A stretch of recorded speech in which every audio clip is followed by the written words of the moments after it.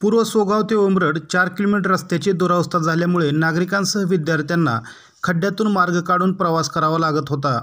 या प्रश्नी सातत्याने प्रशासनाकडे पाठपुरावा केला परंतु आश्वासनाशिवाय काही मिळाले नाही. या सर्व गोष्टींना कंटाळून आणि शासनाच्या मदतीची वाट न पाहता ग्रामस्थांनी एक लाख रुपये लोकवर्गणी करून रस्त्यालगतची झुडपे काढून मुरुम टाकून खड्डे बुजवण्याचे काम चालू केले आहे. यामुळे ऊस वाहतुकीसह व प्रवासी वाहतूक करण्यासाठी वाहनचालकांना त्रास कमी व्हायला मदत होणार आहे. या कामी प्राध्यापक रामदास झोळ नेमिनाथ सरडे अतुल गोडगे ब्रह्मदेव सरडे ज्ञानेश्वर गोडगे भाऊसाहेब राखुंडे रेवण गोडगे भागवत पांढरे तानाजी राकुंडे बापू चोरमले गणेश चौधरी गणेश गोडगे यांचे सहकार्य लाभत आहे. पूर्व सोगावचे ग्रामस्थ अतुल गोडगे यांनी बोलताना सांगितले की पूर्व सोगाव ते उमरड रस्त्यासंदर्भात आमदार खासदार सार्वजनिक बांधकाम विभागाकडे रस्ता करण्यासंदर्भात मागणी केली होती परंतु अद्यापपर्यंत कोणीही याची दखल घेतली नाही. लोकवर्गणीतून चार किलोमीटर रस्ता दुरुस्तीचे काम हाती घेतले.